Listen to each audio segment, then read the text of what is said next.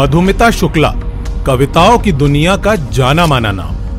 लेकिन फिर अचानक 9 मई 2003 को ऐसा क्या हुआ कि मधुमिता शुक्ला की मौत दुनिया के लिए पहेली बन गई? आखिर क्यों मार दिया गया था उभरती हुई कवियत्री को? और किस बाहुबली से चल रहा था मधुमिता शुक्ला का अफेयर आज के एपिसोड में हम साल 2003 में हुए मधुमिता शुक्ला हत्याकांड की फ़ाइल को रीओपन करेंगे। साल 2003 की बात है। जल्दबाजी में उत्तर प्रदेश की मुख्यमंत्री मायावती प्रेस कॉन्फ्रेंस करती है और कहती हैं कि अगर मधुमिता के परिवार को सरकार की जाँच पर भरोसा नहीं है तो वो सरकार के पास अर्जी दें। हम इस केस की सीबीआई जाँच करवाने के लिए तैयार हैं। और फिर दूसरे दिन न्यूज़ चैनल पर ब्रेकिंग न्यूज़ चलती है। मधुमिता हत्याकांड में परिवार चाहता है सीबीआई जाँच। सरकार के पास सौंपी गई अर्जी। लेकिन मधुमिता शुक्ला की कहानी यहाँ से शुरू नहीं होती। उसे जानने के लिए हम चलते हैं और पीछे। उत्तर प्रदेश, लखीमपुर खेड़ी में एक परिवार रहता था। इस परिवार के मुखिया फॉरेस्ट रेंजर ऑफिसर थे और उनके चार बच्चे, जिसमें तीसरे नंबर की बेटी का नाम मधुमिता शुक्ला था। मधुमिता को परिवार वाले प्यार से मधु कहकर बुलाते। मधु बचपन से पढ़ने में बहुत तेज थी और इसने 12 साल की उम्र में ही लहू का रंग एक है, अमीर क्या, गरीब क्या, खुद की लिखी कविता को स्टेज से सुनाया था। तब से ये वीर रास की कविताएँ लिख भी रही थी और लोगों को सुना भी रही थी। लेकिन फिर 9 जून 1996 की दोपहर को मधु के पिता की ब्रेन हेमरेज की वजह से मौत हो गई। परिवार के ऊपर दुख का साया मंडराने लगा। इसी समय मधु को एहसास हो गया था कि उसे कविताओं की दुनिया में ही नाम कमाना है। उसने खुद से वादा किया, एक दिन वो इस देश की बड़ी कवेत्री बनकर दिखाएगी। और वो इस राह में आगे बढ़ने के लिए मेहनत भी करने लगी। धीरे धीरे समय का पहिया घूमने लगा। देश भर के लोग मधुमिता शुक्ला को एक कवियत्री के रूप में जानने लगे। मधुमिता नाइट्स के नाम से मुंबई जैसी माया नगरी में भी शोज़ होने लगे। मधुमिता की लाइफ में सब कुछ बढ़िया चलने लगा। पॉपुलैरिटी और पैसों की बरसात होने लगी। एक शो के लिए मधुमिता चालीस हज़ार तक चार्ज करने लगी। इसी बीच तारीख आई 24 अक्टूबर 2001 लखनऊ में मधुमिता का कवि सम्मेलन चल रहा था। इसी शो में बीएसपी पार्टी से मंत्री अमरमणि त्रिपाठी का परिवार भी आया हुआ था।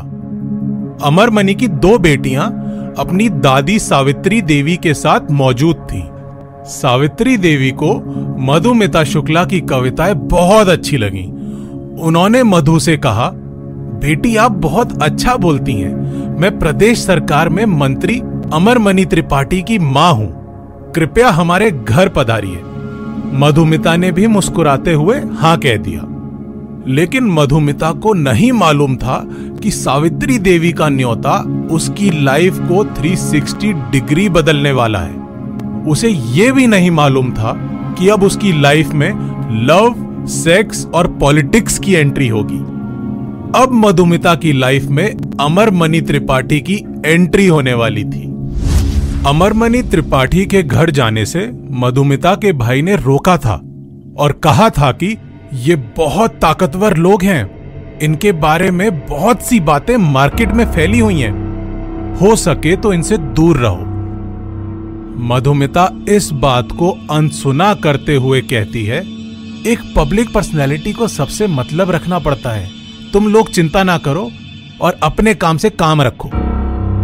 इसके बाद मधुमिता अमरमणि के घर चली गई। वहाँ उसकी मुलाकात अमरमणि से हुई। उसने मधुमिता को देखते ही कहा, आप बहुत अच्छी कवित्री हैं। आप हमारे लिए भाषण क्यों नहीं लिखती? इसके बाद अमरमणि और मधुमिता के बीच दोस्ती की शुरुआत हुई। मधुमिता अमरमणि के लिए भाषण भी लिखने लगी। दोनों के बीच की दोस्ती बढ़ने लगी और कब इस दोस्ती ने प्यार का रूप ले लिया, किसी को पता नहीं चला। लेकिन इस अफेयर की भनक अमरमनी के ऑफ़िस से होते हुए उसकी पत्नी के पास भी पहुँच गई। अमरमनी के घर में विवाह शुरू हो गया। इधर मधुमिता के घर वाले भी उसे समझाने लगे, लेकिन मधुमिता का ब्रेन वॉश हो चुका था। वो एक शब्द भी अमरमनी के खिलाफ नहीं सुनना चाहती थी। अमरमनी त्रिपाठी और मधुमिता शुक्ला का प्यार इस मुकाम पर पहुँच गया था कि दो बार मधुमिता प्रेग्नेंट हो गई। लेकिन दोनों बार अमरमनी त्रिपाठी ने मधुमिता को समझा बुझाकर अबॉर्शन के लिए राज़ी कर लिया। लेकिन फिर तीसरी बार भी मधुमिता प्रेग्नेंट हो गई। इस बार उसने ठान लिया था कि अबॉर्शन नहीं करवाएगी। और इसीलिए अमरमनी और मधुमिता के बीच रिश्ता खराब होने लगा। मधुमिता उससे शादी करना चाहती थी, लेकिन अमरमनी मधुमिता से पीछा छुड़ाना चाहता था। मधुमिता की प्रेगनेंसी की बात अमरमनी की बीवी को भी पता चल गई। उसे बहुत गुस्सा आया और उसने मन ही मन में एक साजिश रची। अब कहानी में प्रकाश और संतोष की एंट्री होती है। वैसे तो ये पेशे से शूटर थे, लेकिन ये अमरमनी के काफ़ी खास भी थे। ये दोनों अमरमनी की बीवी मधुमनी को भाभी कहकर बुलाते थे। एक दिन की बात है, दोनों शूटर अमरमनी के घर में बैठे थे। तभी अमरमनी की बीवी वहाँ आती है और कहती है कि, लगता है आप दोनों मुझे बस भाभी कहते हैं। लेकिन मानते नहीं है। अगर वाकई भाभी मानते होते तो अभी तक आप अपनी भाभी के घर को बर्बाद करने वाली को ठिकाने लगा दिए होते। इतना कहकर अमरमनी की बीवी मधुमनी वहाँ से चली जाती है। और फिर ठीक तीन दिन बाद तारीख आती है नाइन्थ में 2003 लखनऊ की सुबह, पेपर मिल की कॉलोनी में मधुमिता शुक्ला का घर। इस दिन मधुमिता और उसकी बहन का दोपहर में मार्केट जाने का प्लान था। लेकिन सुबह से मधुमिता की अमरमनी से फ़ोन पर लड़ाई चल रही थी। इसलिए दोपहर होते होते मधुमिता ने अपनी बहन से कहा कि, तुम अकेली मार्केट चली जाओ। मैं घर में ही आराम करना चाहती हूँ। बहन ने भी हामी भर दी और मार्केट की तरफ़ निकल गई। करीब आधे घंटे बाद ही पेपर मिल कॉलोनी में दो लोगों की एंट्री होती है। ये दो कोई और नहीं, बल्कि शूटर प्रकाश और संतोष थे। ये दोनों मधुमिता शुक्ला के घर की बेल बजाते हैं। घर का दरवाज़ा उनका नौकर देशराज खोलता है। ये लोग पहले भी मधुमिता के घर आ चुके थे, इसलिए सीधे अंदर आ जाते हैं और देशराज से कहते हैं कि, मैडम को बुलाओ, कुछ बात करनी है। इसके बाद मधुमिता बाहर आती है और देशराज को चाय बनाने के लिए किचन में भेज देती है। देशराज चाय बना ही रहा था कि उसे गोली चलने की आवाज़ सुनाई देती है। वो डर जाता है और सीधा हॉल की तरफ़ भागता है। वहाँ पहुंचकर देखता है कि मधुमिता को गोली लग चुकी थी। वो ज़मीन पर गिरी हुई थी।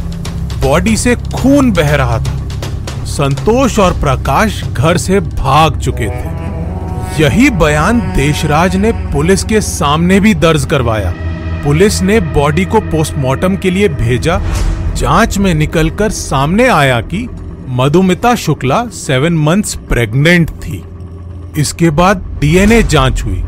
जाँच में पता चला कि मधुमिता की कोख में पल रहा बच्चा उत्तर प्रदेश के बाहुबली नेता अमरमणि त्रिपाठी का था। पैसे और पावर का खेल शुरू हो चुका था। अमर मनी त्रिपाठी कोई छोटा नाम नहीं था।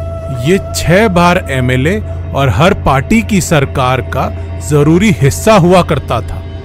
जनता को भी जस्टिस की कम ही उम्मीद थी। लेकिन फिर कहानी में मीडिया की पावर आई। देश की मीडिया ने मधुमती शुक्ला का साथ दिया। और सियासत की पावर कम होते हुए नज़र आई। पुलिस ने अमरमणि त्रिपाठी, उसकी पत्नी मधुमनी त्रिपाठी, भतीजा रोहित चतुर्वेदी और दो शूटर प्रकाश और संतोष को गिरफ़्तार कर लिया। केस को देहरादून की फास्ट ट्रैक कोर्ट में ट्रांसफ़र किया गया। पुलिस ने चार्जशीट पेश की और कोर्ट ने अमरमणि त्रिपाठी, उसकी पत्नी मधुमणि त्रिपाठी रोहित चतुर्वेदी और संतोष को उम्र कैद की सजा सुनाई। प्रकाश पांडे को संदेह के चलते रिहा कर दिया। लेकिन इसके बाद केस नैनीताल हाईकोर्ट पहुँचा। जुलाई 2011 में कोर्ट ने चारों की सजा को बरकरार रखा और प्रकाश पांडे को भी उम्र कैद की सजा सुना दी। अब गुना की हर आहट होगी नाकाम। सुनते रहिए अपराध।